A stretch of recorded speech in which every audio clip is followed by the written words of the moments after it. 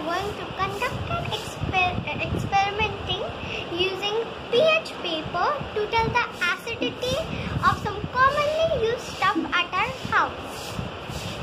First, dish soap. Second, shampoo. Third, some expired cough syrup.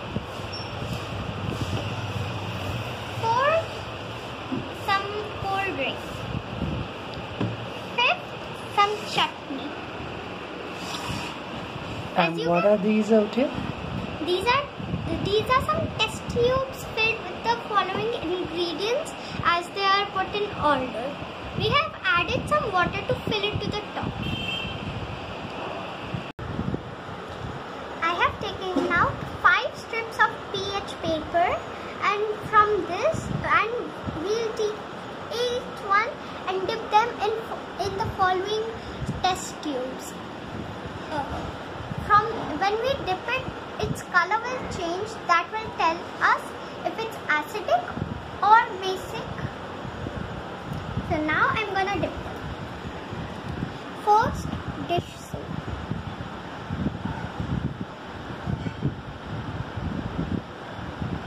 Okay, I'm just gonna wait for a second, put it above here, and now I'll put it below here.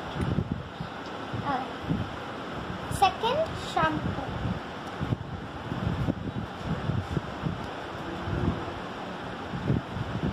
You've got to keep it in for at least five seconds. Then only, only it will.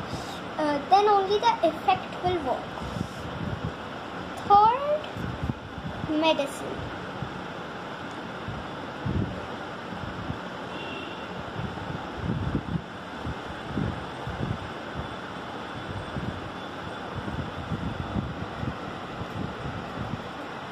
Fourth, uh, cold drink.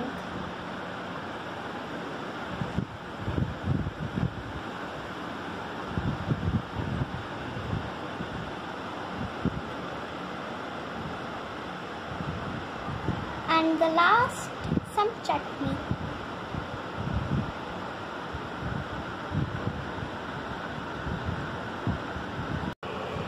These are these are the colors uh, that a pH paper might have turned might have turned to like the color it could have changed into uh, uh, will tell if it's acidic basic or neutral.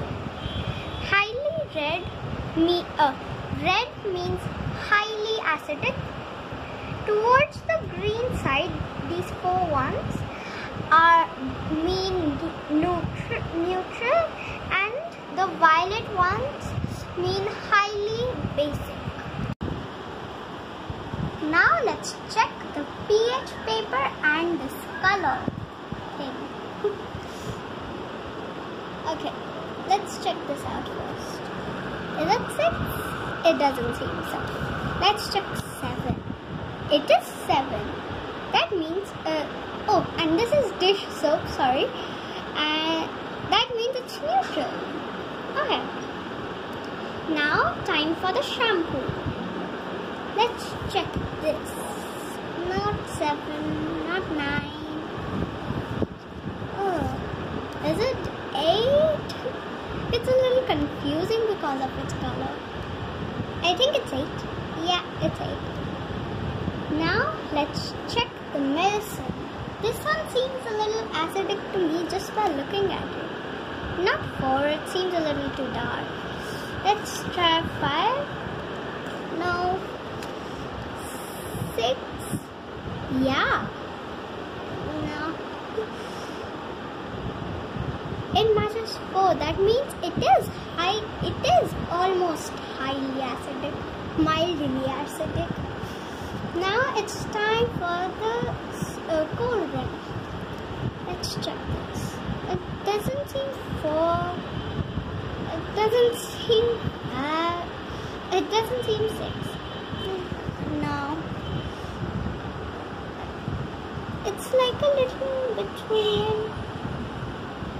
Let's try four. Yeah, that seems like it. Now let's do the chutney. This seems yellowish, which I think is 6. Yeah, it's 6. So the, this was our pH paper with some things that we can use in our home.